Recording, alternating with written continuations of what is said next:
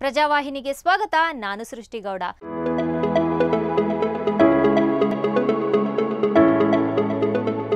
ನರೇಂದ್ರ ಮೋದಿ ಭಾರತ ದೇಶದ ಬಗ್ಗೆ ಎಲ್ಲೆಡೆ ದುಪ್ಪಟ್ಟು ಗೌರವ ಸಂಪಾದಿಸಿಕೊಂಡಂತಹ ಶ್ರಮಜೀವಿ ಎಂದು ಬೊಮ್ಮನಹಳ್ಳಿ ಶಾಸಕ ಸತೀಶ್ ರೆಡ್ಡಿ ಅವರು ಮೋದಿ ಅವರ ಕಾರ್ಯವೈಖರಿಯನ್ನು ಹೊಗಳಿದರು. ಬೊಮ್ಮನಹಳ್ಳಿಯಲ್ಲಿ ನರೇಂದ್ರ ಮೋದಿ ಅವರ ಎಪ್ಪತ್ತನೇ ಹುಟ್ಟುಹಬ್ಬವನ್ನು ಗುರುವಾರ ರಕ್ತದಾನ ಶಿಬಿರದ ಮೂಲಕ ಸರಳವಾಗಿ ಸೇವಾ ಕಾರ್ಯದ ಮೂಲಕ ಅರ್ಥಪೂರ್ಣವಾಗಿ ಆಚರಿಸಲಾಯಿತು. ಈ ವೇಳೆ ಮಾತನಾಡಿದ ಅವರು, ಕಳೆದ ಆರು ವರ್ಷಗಳಿಂದ ದೇಶದ ಜನರ ಭಾವನೆಗಳನ್ನು ಅರ್ಥ ಮಾಡಿಕೊಂಡು ನಿರಂತರವಾಗಿ ಕಾರ್ಯನಿರ್ವಹಿಸುತ್ತಿರುವ ಶ್ರಮಜೀವಿಯಾದ ಮೋದಿ ಅವರ ಬಗ್ಗೆ ಅಪಾರ ಗೌರವವಿದೆ.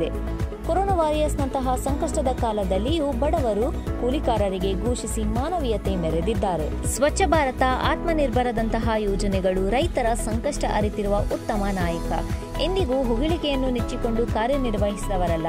ಅವರ ಕಾರ್ಯವೈಖರಿಯನ್ನು ನಾವು ಅನುಸರಿಸಬೇಕಾಗಿದೆ ಎಂದು ಅಭಿಪ್ರಾಯಪಟ್ಟರು. ನರೇಂದ್ರ ಮೋದಿಯವರು ನೂರಾರು ವರ್ಷ ಬಾಳಲಿ. ದೇಶ ಕಟ್ಟುವಂತಹ ಕೆಲಸ ನಿರಂತರವಾಗಿ ಮುಂದುವರಿಯಲಿ ಎಂದು ಹಾರೈಸಿದರು. ಈ ಸಂದರ್ಭದಲ್ಲಿ ಯುವ ಮೋರ್ಚಾದ ಪದಾಧಿಕಾರಿಗಳು, ಕಾರ್ಯಕರ್ತರು, ಇನ್ನಿತರು ಉಪಸ್ಥಿತರಿದ್ದರು.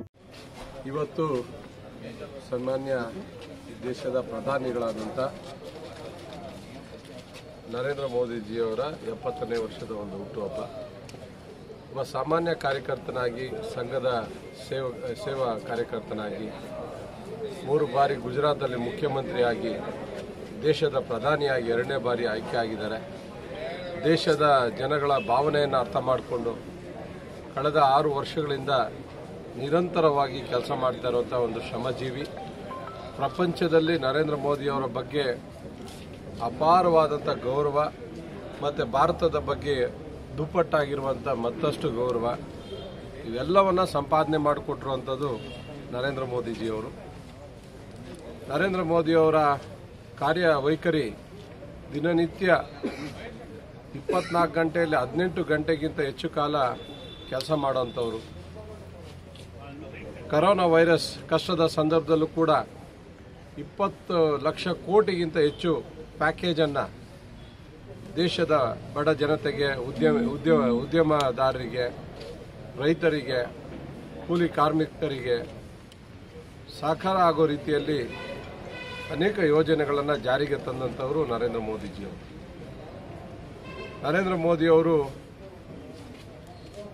ಮೊದಲನೇ ಬಾರಿ ಚುನಾವಣಾ ಪ್ರಚಾರಕ್ಕೆ ಬಂದಾಗ ಎರಡು ಸಾವಿರದ ಒಂಬತ್ತರಲ್ಲಿ ಆಗ ಅನಂತಕುಮಾರ್ ಅವರ ಚುನಾವಣಾ ಪ್ರಚಾರ ಇತ್ತು. ಅವರಿನ್ನೂ ಪ್ರಧಾನಿ ಆಗಿರಲಿಲ್ಲ. ಆಗ ಅವ್ರನ್ನ ಭೇಟಿಯಾಗಿದ್ದೆ. ಪ್ರಧಾನಿ ಆದ ನಂತರನೂ ನಾನು ಎರಡು ಬಾರಿ ಅವ್ರನ್ನ ಭೇಟಿಯಾಗಿದ್ದೆ.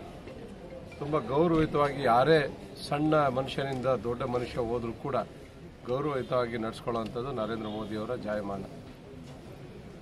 ಎಲ್ಲರನ್ನ ಪ್ರೀತಿಸುವಂಥದ್ದು ಶಾಂತಿಯನ್ನು ಬಯಸುವಂಥದ್ದು ದೇಶದ ಜನಗಳ ಮನಸ್ಸಿನ ಒಳಗಡೆ ಆಳವಾಗಿ ಯಾರ್ದಾದ್ರೂ ಹೆಸರು ತಳ ಊರಿದ್ರೆ ಅದು ನರೇಂದ್ರ ಮೋದಿಜಿಯವರ ಹೆಸರು ಮಾತ್ರನೇ.